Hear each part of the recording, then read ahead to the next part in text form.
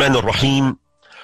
الحمد لله رب العالمين والصلاة والسلام على مولانا رسول الله وعلى آله وصحبه أجمعين. وبعد أيها الأحبة الكرام السلام عليكم ورحمة الله تعالى وبركاته. أسأل الله تعالى أن يتقبل منا ومنكم جميعا صيام ستة أيام من شوال. انتهى رمضان ولا وأدبر ولكن ماذا تعلمنا من رمضان؟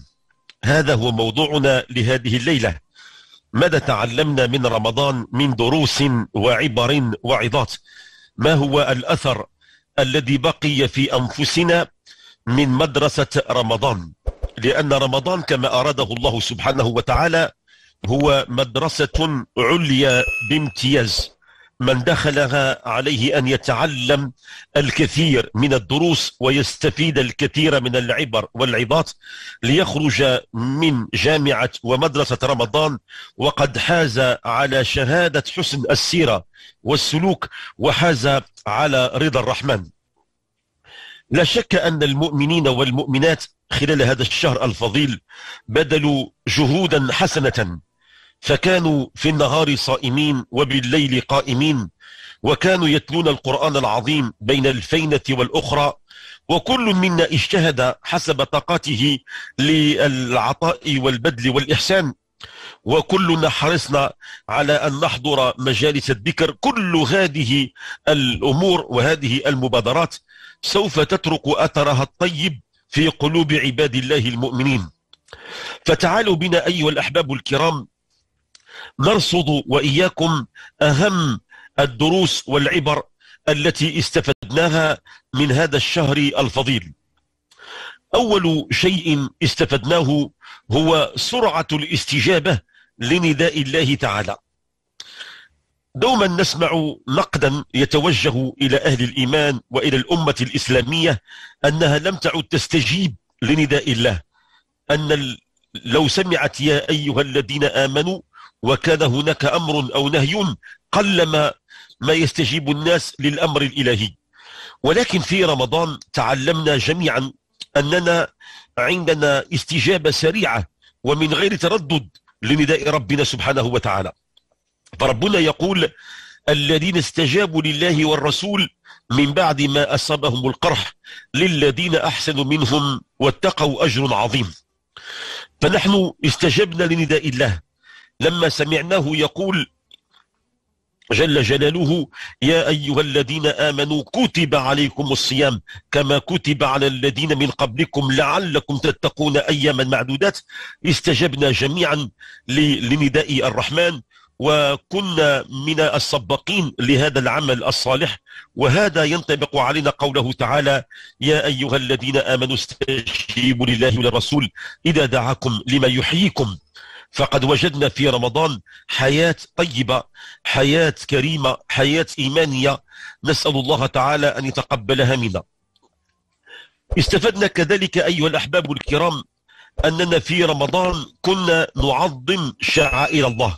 لاحظنا بأن المجتمع مجتمعنا صار مجتمع التقوى ومجتمع البر ومجتمع الإحسان. مجتمعنا في رمضان كان مجتمعا صالحا بامتياز حتى إن معظم سلوك الناس يبدو فيه الاستقامة ويبدو فيه الأريحية وتبدو فيه المحبة والمودة والوئام والتعاون والتضامن. ومن ينظر إلى إلى التقارير الصادرة عن الدوائر الأمنية فيلاحظ بأن هناك ندرة قليلة من الجرائم. حتى حوادث السير قليلة جدا مقارنة مع الشهور الأخرى. فرمضان كان فيه واحد نوع من من الناس يشعرون بأنهم يعظمون هذا الشعر الشهر الفضيل. يعظمونه ويعظمون الدين حتى المدخنين كانوا لا يدخنون. حتى من كان عنده بعض السلوك صار يخفيه عن أنظار الناس. كل هذا من باب تعظيم شعائر الله. وهذا من التقوى. ربنا قال جل جلاله ذلك ومن يعظم شعائر الله فإنها من تقوى القلوب. شعرنا كذلك في رمضان أن هناك هناك مراقبة إلهية في قلوبنا. هناك الشعور بالمراقبة الإلهية.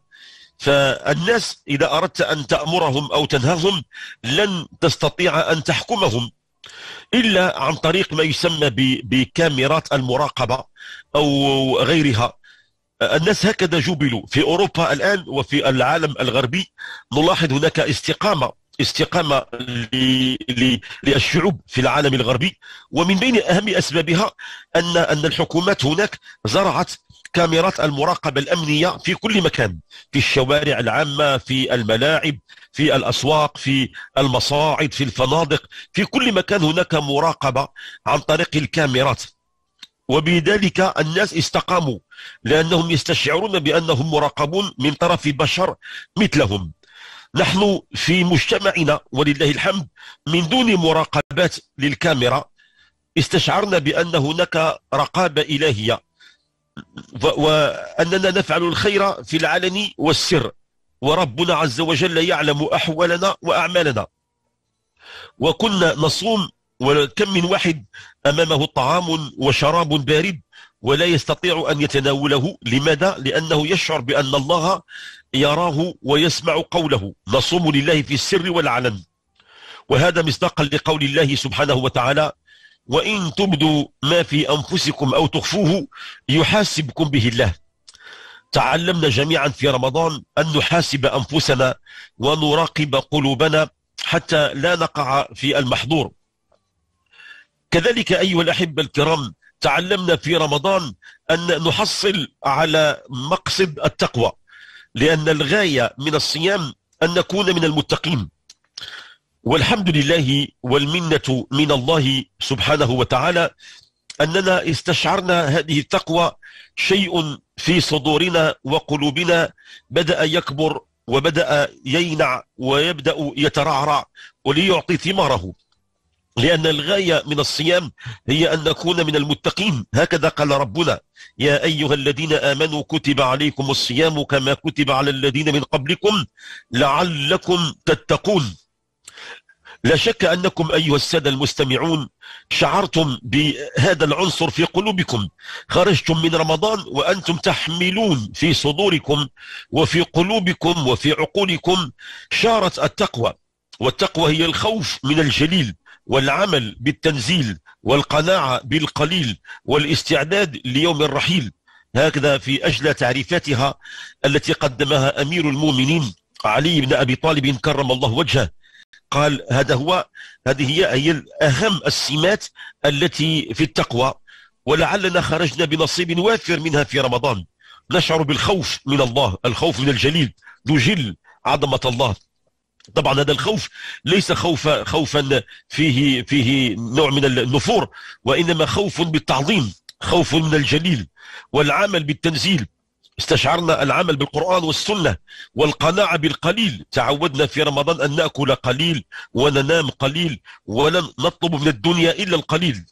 والاستعداد ليوم الرحيل كل منا يعمل وهو يتمنى على الله بعد عمر طويل أن يجازى خير الجزاء في جنات النعيم. كل هذه الأشياء تعلمناها من مدرسة رمضان وتعلمنا كذلك أننا نلتزم بالقيم الدينية. لاحظنا بأن مجتمعنا صار مجتمع القيم. ليس هناك لا سرقة ولا هناك اغتصاب ولا هناك اعتداء على أموال الناس ومصالحهم. صار همنا الأكبر هو الدين. صار همنا الأكبر هو العبادة والطاعة.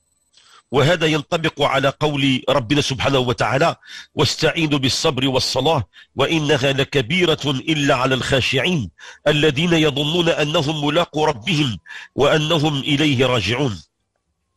شعرنا بأن, بأن همنا الأكبر لم يعد هو الدنيا. همنا الأكبر في رمضان صار هو الدين وصار هو العمل للآخرة. ولاحظنا بأننا في رمضان كثرت أرزاقنا. في رمضان كثرت الأرزاق. وفي رمضان موائد الرحمن في كل مكان وفي بيوتنا موائد طيبة مباركة وأغنياؤنا يوسعون على فقرائنا. ولاحظنا بأن, بأن الخير عم الجميع. لماذا؟ لأن من كان همه الآخرة ربنا أغناه. ومن كان همه الدنيا ربنا يفقره. وقد قال صلى الله عليه وسلم من كانت الآخرة همه جعل الله غناه في قلبه وجمع له شمله وأتته الدنيا وهي راغمة. ومن كانت الدنيا همه جعل الله فقره بين عينيه وفرق عليه شمله ولم يأته من الدنيا إلا ما قدر له. هذا قانون رباني قاعدة عامة. كل من يهتم بالآخرة ربنا وعده بأن يغنيه والغنى قد لا يكون أموال بل يشعر في قلبه أنه غني ويشعر بأن شمله مع أهله وذويه وأحبابه مجموع. ثم إن الدنيا تأتيه الدنيا تقول ها أنا ذا بين يديك خذني إليك. أما من كان همه فقط الدنيا وكان لا يعبأ بالآخرة فإن الله تعالى يجعل فقره بين عينيه تجده دوما وأبدا يشكو الفقر. يقول هناك هناك غلاء وهناك وهناك قلة ندرة في الموارد وهناك أزمة مرتقبة وهناك وضع يسوء. دائما عنده رؤية وفقر وعدم قناعة. ويفرق الله عليه شمله. تجد في صراع مع من حوله مع مع أصدقائه وزملائه بل ومع أهل بيته بل ومع نفسه. فرق عليه شمله. ثم لا ينال من الدنيا إلا ما قدر له. قد لا يأتي إلا القليل. عنده مال وفير ولكن لا يأكل منه إلا ما قدر الله له. عنده ملايير أو ملايين ولكن لا يأكل ولا يتناول ولا يتنعم إلا بالقليل مما أعده الله له. فرمضان أيها الأحبة الكرام خرجنا منه بكل هذه المعاني معاني عظيمة ومعاني جليلة وخصوصا ذقنا فيه حلاوة العبادة. في رمضان كنا نعبد الله تعالى بالنهار وبالليل صيام بالنهار وقيام بالليل. وطبعا من, من كان كل وقته في العبادة سيذوق حلاوة الإيمان. وسوف يشعر بلذة الحسنات. وسوف يستشعر حقيقة السيئات. سيدنا النبي صلى الله عليه وسلم قال من سرته حسنته وساءته سيئته فذلك المؤمن ذلك المؤمن. من علامة المؤمن أنه يشعر بالمسرة والسعادة بالحسنات ويستاء من السيئات. إذا قام بحسنات بصدقات بعبادات بركعات بصلة للأرحام يفرح ويسعد بهذه الحسنة. لكنه إذا صدرت منه سيئة تجده كئيب وحزين ومهموم. وهذا هو المؤمن تسره حسنته وتسوءه سيئته. تعلمنا أيها الأحباب الكرام في رمضان تعلمنا شيئا مهما للغاية وهو المحافظة على الصلاة في أوقاتها. هذه نعمة عظيمة من أعظم ما تعلمناه في رمضان لأنه بعد الصيام هناك القيام والصلوات الخمس. لاحظنا بأن مساجد المملكة الشريفة التي تزيد عن 53 ألف مسجد كلها كانت ممتلئة عن آخرها خلال شهر رمضان. بل ولاحظنا هناك مساجد أقيمت خصيصا في رمضان عبارة عن خيام خيام كبيرة أقيمت في ملاعب القرب وأقيمت في الساحات الكبرى أقامها أهل الفضل وأهل الإحسان يتجمع فيها الآلاف من المصلين. ورأينا النساء يتزاحمن في مساجد الله ورأينا الشابات والشباب عموما كلهم لهم نصيب في الصلاة. ولاحظنا بأن الناس أوقات الصلاة يتركون أعمالهم ويتركون متاجرهم ويتركون مصالحهم ويلبون نداء الرحمن للصلاة. وهذا ينطبق علينا قول الله تعالى رجال لا تلهيهم تجارة ولا بيع عن ذكر الله وإقام الصلاة وإيتاء الزكاة يخافون يوما تتقلب فيه القلوب والأبصار. الناس يخافون من القيامة ويخافون من يوم البعث والنشور يوم تتقلب فيه القلوب والأبصار. رأينا الناس كلهم يتزحمون لبيوت الله تعالى. ورأينا كذلك أيها الأحبة الكرام الازدحام على النوافل خصوصا صلاة تراويح الناس يؤدونها بعد العشاء وبعد وقبل الفجر فكانت بيوتنا والحمد لله وبيوت الله مليئة بالمصلين. لقول الله تعالى وأقم الصلاة طرفي النهار وزلفا من الليل. الناس يقومون بالنهار والليل بالصلاة والناس يبيتون سجدا والذين يبيتون لربهم سجدا وقياما. هؤلاء هم عباد الرحمن. خصوصا حافظنا وإياكم على صلاة العشاء والفجر جماعة. فمعظم الناس حتى ممن لم يصلي التراويح على الأقل يحافظون على صلاة العشاء في الوقت وصلاة الفجر في الوقت مع الجماعة. لأن هذه فيها خير كبير. لأن في من أدى العشاء والفجر في الجماعة نال أجرا وثوابا كبيرا. سيدنا النبي صلى الله عليه وسلم قال من صلى العشاء في جماعة فكأنما قام نصف الليل ومن صلى الصبح في جماعة فكأنما صلى الليل كله. خصوصا عباد الرحمن الذين يمشون في في أماكن مظلمة. هناك بعض الناس يعيشون في في ضواحي المدن أو في القرى أو في الجبال ويسيرون إلى المساجد في ظلام دامس وقت العشاء. أو وقت الفجر يسيرون على أقدامهم أو على دوابهم والظلام دامس. هؤلاء بشرهم النبي الكريم بالنور يوم القيامة. فقال بشر المشائين في الظلم إلى المساجد بالنور التام يوم القيامة. كل هذه الأشياء الطيبة استفدناها من مدرسة رمضان. رمضان مدرسة بامتياز. تعلمنا فيها الكثير ولله الحمد والمنة. وتعلمنا في رمضان أننا لا نهجر القرآن. تعلمنا أن نقرأه وأن نردده وأن نستمع إليه. تعلمنا أن تكون صلتنا قوية مع القرآن العظيم. والذين يقرؤون القرآن يرجون تجارة لن تبور مع الله تعالى. ربنا قال إن الذين يتلون كتاب الله إن الذين يتلون كتاب الله وأقاموا الصلاة وأنفقوا مما رزقناهم سرا وعلانية يرجون تجارة لن تبور. تجارة عظيمة استفدناها من رمضان من خلال اهتمامنا بكتاب الله عز وجل. والذين لا يحفظون القرآن أو لا يستطيعون تلاوته كانوا يملؤون أوقاتهم بالذكر والإستغفار. هناك أقوام لا يقرؤون القرآن لأنهم إما عندهم أمية أو عندهم ضعف في القراءة فيملؤون أوقاتهم بالذكر وبالاستغفار بالليل والنهار. ربنا وعدهم بالخيرات وعدهم بالمكرمات. فقال إن المتقين في جنات وعيون إن المتقين في جنات وعيون آخذين ما آتاهم ربهم إنهم كانوا قبل ذلك محسنين. كانوا قليلا من الليل ما يهجعون وبالأسحار هم يستغفرون وفي أموالهم حق للسائل والمحروم. فهنيئا لكل من ملأ وقته بالاستغفار والذكر والدعاء والابتهال وقت السحر. تعلمنا من رمضان أننا نحضر إلى الدروس الدينية ونتعلم العلوم الشرعية وهذه صفة طيبة علينا أن نواظب عليها. كنا نحضر دروس العلم وحلقات الذكر ونتعلم أمور الدين من خلال قراءة الكتب الإسلامية أو من خلال الاطلاع على مواقع فيها الفائدة. لهذا نحصل الحكمة. ربنا قال يؤتي الحكمة من يشاء ومن يؤت الحكمة فقد أوتي خيرا كثيرا. خيرات أيها الأحباب الكرام تعلمناها في هذا الشهر الفضيل خصوصا خصوصا أننا كنا وإياكم جميعا نشارك في الأعمال التي فيها الخدمة الخدمة للمسلمين. رأينا في رمضان ازدهار الأعمال الخيرية. رأينا أهل الخير وأهل الفضل وأهل الإحسان يتنافسون فيما بينهم لتقديم الصدقات. رأيناهم كيف يعطون ولا يخشون الفقر. رأينا الجمعيات جمعيات البر والإحسان.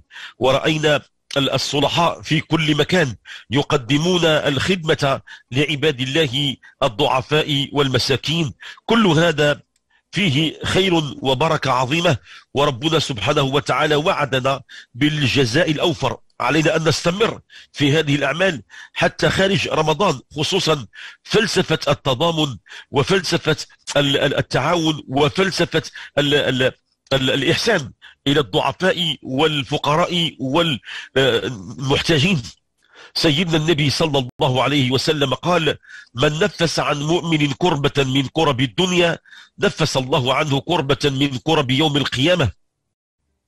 فكل من ينفس على أخيه غلاء الحياة وغلاء الأسعار فإن الله تعالى ينفس عليه كربة من كرب يوم القيامة.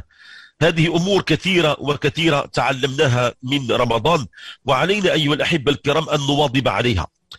هذه الأمور هي الغاية من صيام رمضان. الغاية باختصار هي أن نحصل على التقوى. لا ينبغي أن نكون نحن كما دخلنا أول من مرة إلى رمضان نخرج منه. علينا أن نكون قد تغيرت فينا أشياء كثيرة وكثيرة جدا وقد حصل ولله الحمد والمنة أن وقع التغيير والتبديل إلى الأحسن والأفضل. نسأل الله تعالى أن يتقبل منا ومنكم جميعا هذه الأعمال الفاضلة ونسأل الله تعالى أن يثبت الإيمان في قلوبنا ويزينه في صدورنا. ويعيننا على المزيد من العمل الصالح أن يعيننا على المزيد من الخير والبركة أن يعيننا على المزيد من الأعمال التي تقربنا إلى الله زلفى. فأسأل الله سبحانه وتعالى أن يوفقنا لذلك.